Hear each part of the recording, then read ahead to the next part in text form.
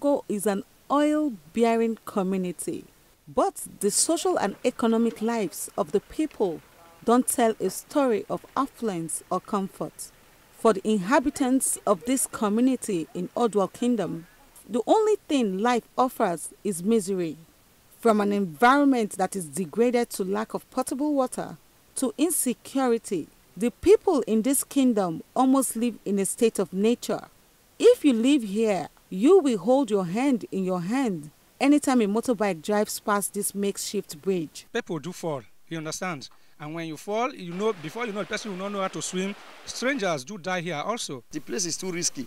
You see a volume of water that the water can take somebody out of that place. After a troubling farming season, their farm produce end up having no commercial values. Transportation of these goods to reach Port Harcourt no be here. Before we are loading banana from Woodbow to here to Port Harcourt.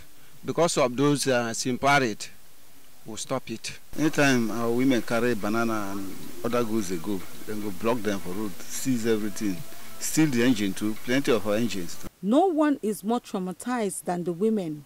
Esther Princewell, like hundreds of other women in this community, said it takes the grace of God to be delivered of a baby. Just of recent, one born, placenta no come out.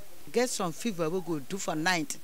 We no way before they go break, the pikin don't die. There's a school which is not just for the indigenes, but for the neighboring communities. If I was a child, I will tell you the truth. I won't go to school because there's no motivation. We don't have uh, those, uh, how do they call it, the syllabus, who's based on your level of education you want to use to teach the kids. However, to say the classroom blocks are dilapidated is an understatement.